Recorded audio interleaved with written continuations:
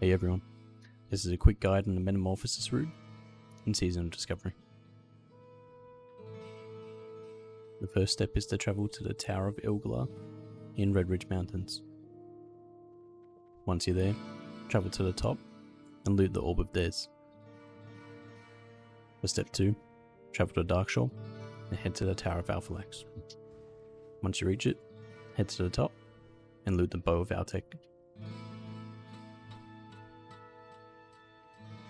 For step 3, enter the Southern Barrens, east of Camp Rojo. There you will see Doan Karhan and pick up the quest, the Orb of Soran'ruk. For this quest, you will need to go to Black Depths and kill Twilight Acolytes. You need 3 Soran'ruk fragments, and go to Shadowfang Keep and kill a Shadowfang Dark Soul for a large fragment. Part 4, you pick up the quest of Conjuring from Doan, and then head over to Demonfall Canyon Ridge. Not the bottom part, the top part.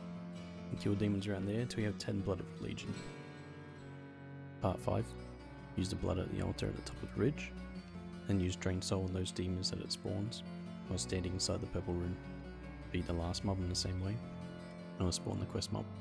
Once you have this last quest, get back to Doan and the Barrens, and then you'll have your rune. Enjoy.